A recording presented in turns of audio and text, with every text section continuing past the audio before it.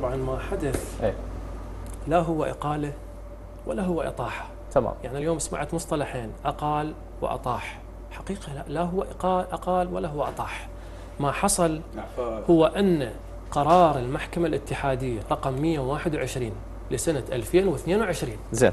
قرار يقضي بأن كل قرارات حكومة تصريف الأعمال اليومية هي قرارات غير دستورية وغير قانونية.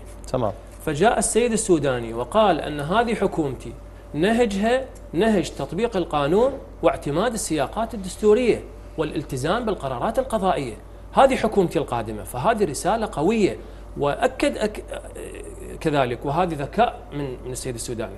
قال أنه ربما بعضهم يوم غد أنا سأصدر قرار بتثبيتهم. زين. المطلوب شنو؟ المطلوب هو تكييف وضعهم القانوني.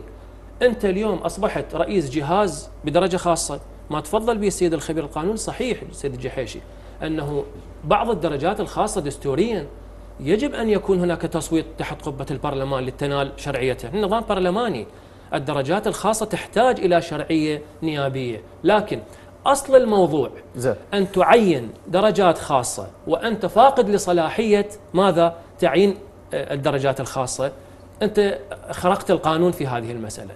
فالسيد السوداني نعم أعاد ضبط المصنع مثل ما تفضل الاخي العزيز، أعاد بوصلة ال- الحكومة بالاتجاه أي اتجاه؟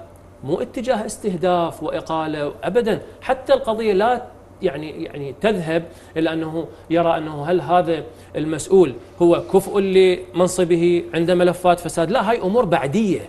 يعني إحنا اليوم بدنا نتحدث عن التزام الحكومة بقرارات المحكمة الاتحادية. هذا هو اللي سواه السيد السوداني زين. والرسالة الجادة اللي بعثها في هذا الاتجاه.